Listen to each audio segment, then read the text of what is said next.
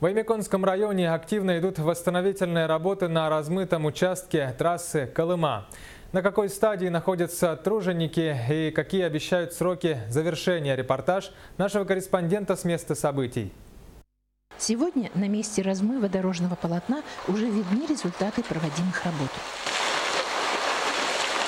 Мы практически подошли сейчас уже к мосту, сделали работу, прошли 150 метров дамбы и начали уже отсыпать демполотно.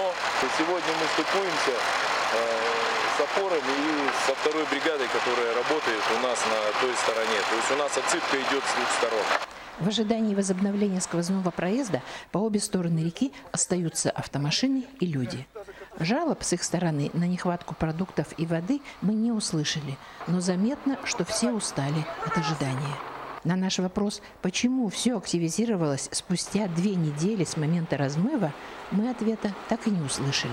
Спустя две недели привезли воды, спустя две недели построили туалет, спустя две недели привезли еды. Как бы история не очень веселая, но мы ждем, как бы у нас э, только вперед, ни шагу назад.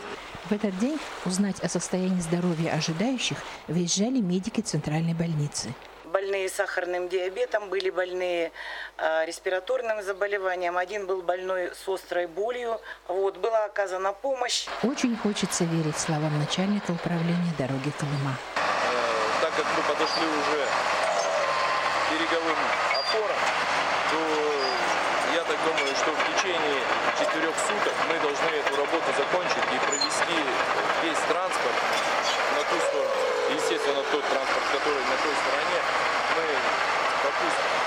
направление. Потом продолжим работы по укреплению дамбы и э, будем работать подъемку нас.